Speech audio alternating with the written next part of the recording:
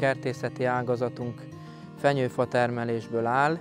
Ezt a nagyszüleink, dédszüleink kezdték el 50-60 évvel ezelőtt, jelenleg ketten az öcsémmel visszük ezt az ágazatot, hozzávetőlegesen 10-11-2 hektáron foglalkozunk fenyőfa termelése. Tavasszal kezdjük a fenyőfáknak az ültetését, zömében 3-4 éves csemetéket ültetünk. Ültetés után gyomírtás következik, a területet ugye tisztán kell tartanunk, majd metszük, formázzuk a fenyőket, gombaölözzük, rovarölözzük őket, augusztusban műtrágyázás, és ez egy 6-8 éves folyamat, mire a fenyőfákat vághatjuk. Zömében őstermelők foglalkoznak ugye fenyőfa termesztéssel, családi gazdaságok, ők hazai munkaerőt alkalmaznak ilyenkor szezonálisan, környezetkímélő is, tehát az egy tévhit, hogy mi itt vágjuk a fenyőt, és akkor a kevesebb lesz a fa, mivel ugye tavasszal a kivágott fák helyére újat ültetünk, sokan még kettőt és hármat is ültetnek a kivágottak helyett.